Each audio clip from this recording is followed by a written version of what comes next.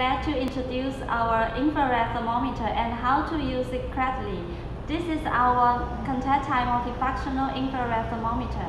First, install two pieces AAA batteries into the machine. And please pay attention to the battery electrode directions.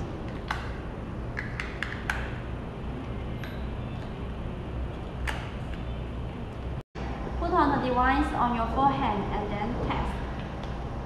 When you hear a sound of deed, you can remove the device. Take off the probe. It's a magnetic probe and it's easy to take off. And put the probe in the ear.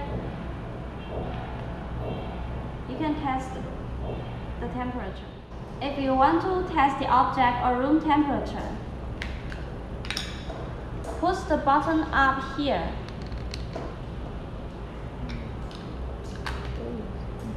test.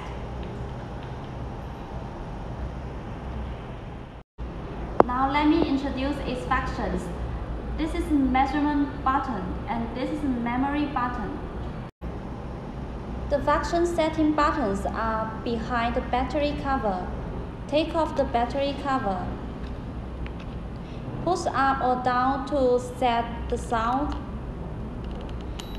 To switch Celsius or Fahrenheit to select object or body mode.